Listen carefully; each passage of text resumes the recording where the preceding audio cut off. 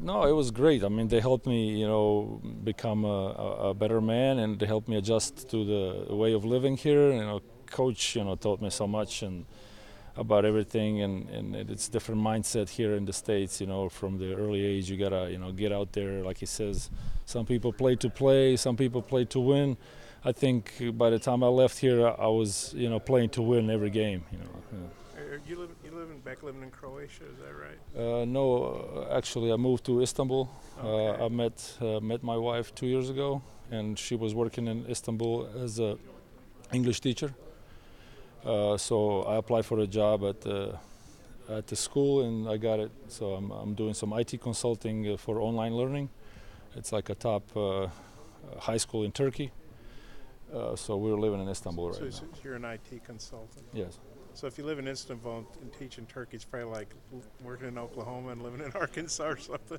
Well, I mean, it's it's it's it's a school that uh, the oldest kids that are that are there are like a top academic uh, in in Turkey, and they're all aspired to go to the uh, foreign colleges. So it's like a big English program. So I'm basically I'm not even like you know conversing in Turkish. It's Yeah. just like you know English pretty much because there's about like 70 teachers, faculty that, that speak English. You know. Does it ever, does it ever come up over there, or unless you bring it up about what you guys did over here in, in '94? Uh, well, some people know about it once they once they kind of connect the dots. You know, they, they they talk to me about it. There's like a, especially like uh, American teachers, they know, you know, and they, they know about the all the NCAA, and they know about the team. They know about Nolan Richardson. They know about Corliss Williamson. So so it's like it comes up, and you know, I have I have some stories to tell them. So they they're happy about that. How many times have you end watched the game since then? How many times? Huh. Uh, probably not too many. It's like like four or five times, but but it was like you know, it's it, it, it's just at the time you know like you don't realize what you accomplished you know and, and, and now when you look at it it's amazing because it, it's been so many other games that I watched you know the Final Fours and you can always like relate to those guys you know out there you know like what they're going through and you know how much is the the the accomplishment that you do this like you work hard all year you work hard for three years and and you get there and you win you know and also we have the other feeling of the losing in the finals but it was kind of easier to bear knowing that you have one in your pocket you know I guess you win the prize for longest trip back for the reunion. yeah it was like 20 hours so uh, It 20 total hours of flying. yeah But so three figured, three hey, different planes huh? You figured, hey, I'm not going to miss it, or No, no, yeah, I missed the 15 year, and you know when I saw the guys on the on the on YouTube later, you know, I felt really bad about it, and you know I wanted to be here, and I've been back since like you know 2014, 2016 I was here, so so you know I already knew you know like it wasn't gonna be that that hard of the trip, you know. The the only thing is that I couldn't take more time off work, uh, so it's I'm going back tomorrow actually, but but it's I mean this. It's worth it. If it was 40 hours, I would come. You know.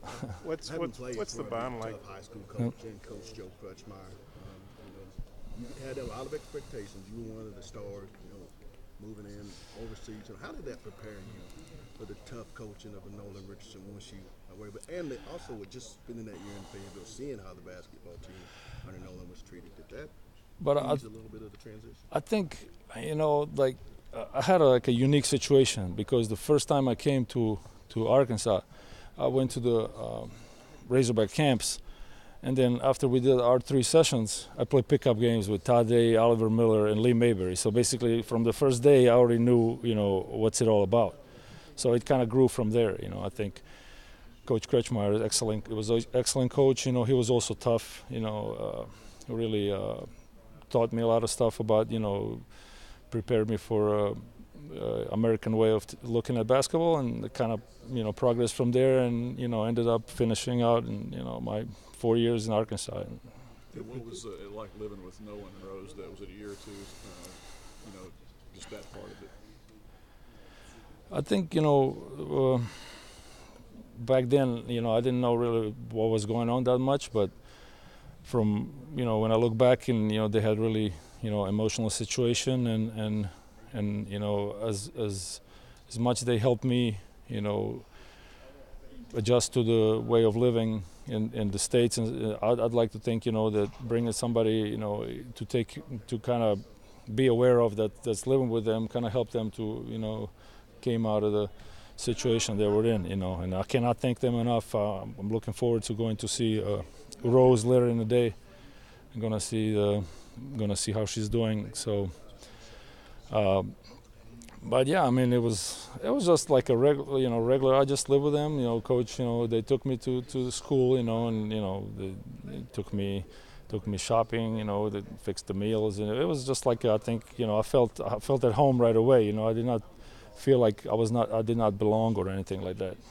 What, what- what's the bond like between you guys? Even as far away as you live, you probably don't get to see him very often. But what, what's it like when y'all got like got together last night?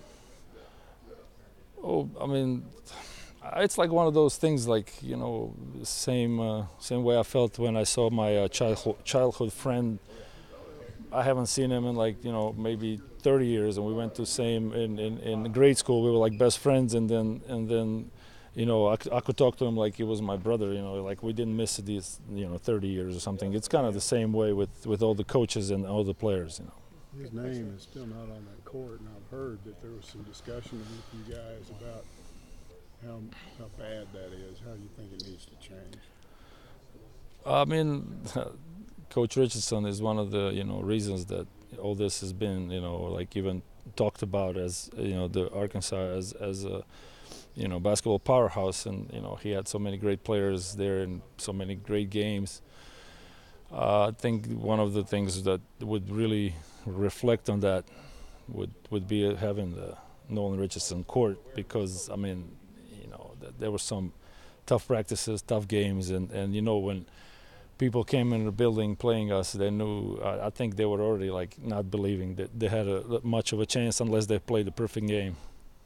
Corey Beck said one time that whenever things got tough and it looked like you guys might lose, he'd always look over at Nolan, and he, he said as long as he was over there, we knew we, we had a shot. I mean, one of the things that you know st- stood out in my mind is is like when he said that that whenever we win the games, it's it's uh, it's you guys, and if we lose the game, it, it's on me because I didn't prepare you. So he did his best to prepare us, and that that way, we were in a good position to win every time. And and with our team chemistry and in the way we you know looked out for each other on the court, I think we were able to you know maximize our potential as as, as a basketball team. What a lot of people don't know is that it wasn't easy on you at first. I, I watched those workouts; they were hard on you. They, I mean, they really pushed you. Those players did. Yeah, what do you mean about me personally, or? Yeah, it, it was almost like you got to prove yourself to us. Oh yeah, that, that was. I mean, it, it's normal. You coming in as a as a as a young player. You know, the older players will like you know give you give you hell as much because they're trying to make you tougher because they know that at some point they will have to count on you to be part of the team. Outside of the national championship and winning, uh, the best memory from that 93-94 uh, year for you?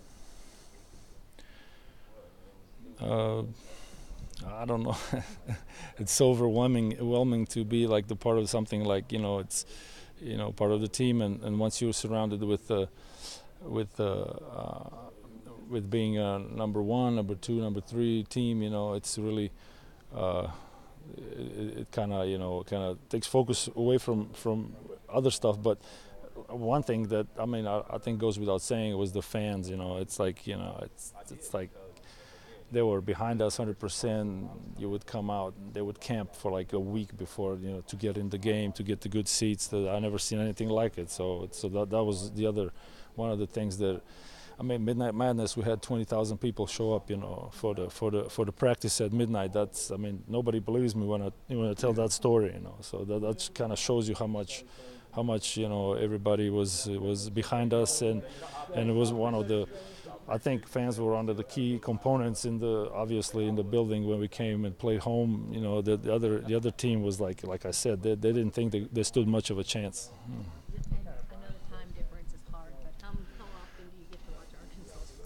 Oh, I got I got a pretty nice setup over there with the VPN. I have Hulu, and you know, I probably shouldn't say that, but uh, and and all the games are DVR, so I watch them like the next day uh, if they're not like at nine or, or 10 p.m. my time. But eight hours difference, so it's mostly I watch them the next day. Yeah. All right. You're welcome.